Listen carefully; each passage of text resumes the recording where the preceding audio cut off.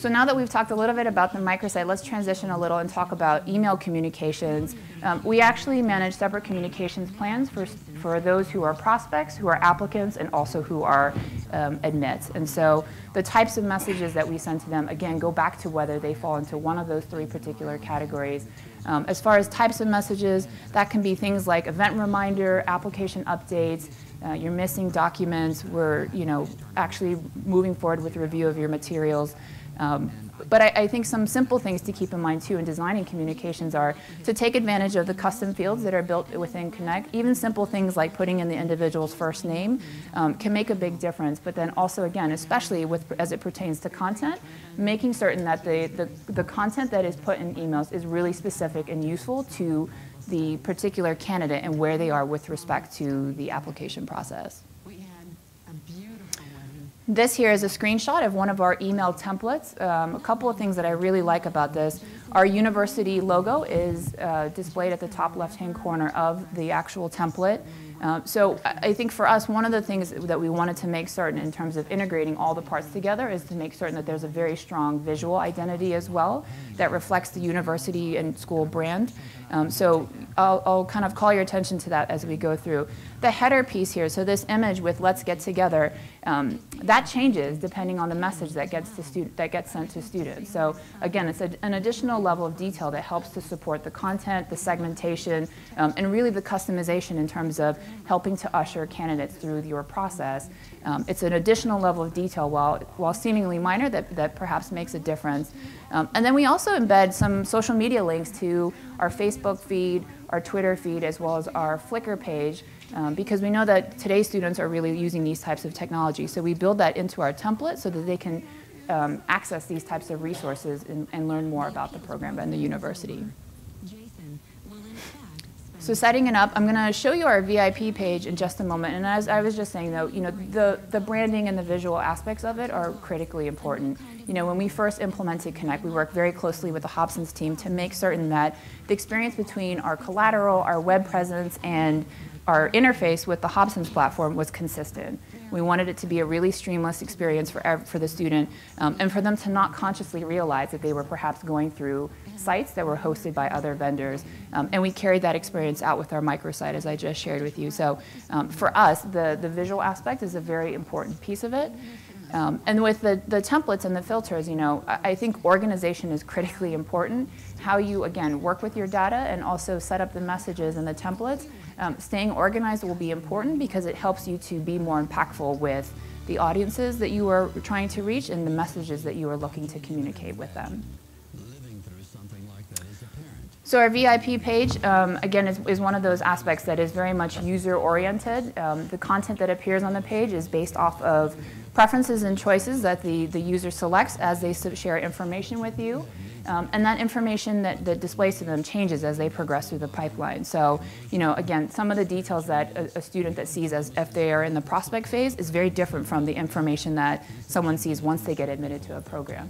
Um, and to give you a sense of kind of the, the content that ends up changing, uh, my status, so if they're in the prospect or the application phase, they see information about um, their particular submission materials that they are, are waiting to confirm that have been received by our office. They have information to a program brochure, and for us that changes across whether they're looking at an MBA or an MS program um, their program of interest. So if they're in the prospect phase and they're not certain whether they want to do an MBA in finance or an MS in finance, they have the option to change the, the fields and that will change the content that shows up on the VIP page. Um, we also include student and faculty uh, spotlights on the VIP page as well as lists to deadlines which do vary across MBA and MS programs. So again, you can kind of get a sense for the level of customization that's possible within the VIP page um, which again just helps to enhance the experience for the students as they're going through the process. So this is a screenshot of our actual VIP page. Um, I know that perhaps the text is really difficult to read, so I'll help you guys out. But again, first and foremost, you see the university brand and logo at the, the top left-hand corner of the screen. On the right side, you see um, links to both our online application as well as our events portal so that they can take a look at the different information sessions we have coming up, um, recruitment events that we'll be participating in. And then on this main page, in the top left-hand corner is your profile details, so your name, the program that you're interested in. For this particular student, I think we are in the prospect phase. So, you know, some next step reminders that would be helpful to someone in that particular phase. Attending an information session, planning a class visit, um, connecting with a graduate student ambassador. Again, types of details that are relevant to where they are and, and the types of information that they're looking to find. You see as well some of the social media links, our web address. In the center is actually information about the particular program. So a brief overview and summary of the program of interest, which in this case is our MS in Finance. Um, moving over to the right, you see a copy of the brochure, which is specific to our, our finance program. And then, even though he's not a student, he's a faculty member, a faculty profile. So this was our former MS Finance Program Director. This was a way for us to further showcase um, some of the resources that are available to students with interest in this program. And he was happy to talk with students if they had additional questions. So um, again, this is one of those fields that would dynamically change based on the program of interest. So if it was an accounting program, an accounting faculty member would show up. If it was an MBA program, it could be potentially an MBA student that would show up. But again, that level of customization and being able to provide other touch points was um, what we were looking to do. At the very bottom are some, some um, details that you can't exactly see, but basically information about financial aid, being able to live in Washington, um, and then also um, campus visit programs and events and things like that. So I mentioned as we were going through um, things initially that, you know, once the students are admitted to the program, the experience in terms of it being customized and to their particular interests and preferences continues. And so um, for us, once students get admitted, they are invited to join an admitted student community. Um, and the platform that we use to power this community is Ning. Um, and what it is is, is a private social network for students um, that have been admitted to the programs. We allow students from all of our degree programs, so all 10 programs, to join the particular community. Within the site, there are separate subgroups based off of their particular program. So there's one for the full-time MBA, one for each of the MS programs. Um, and what it does is allows them to interact with other admitted students that have been, who, who have been offered admission.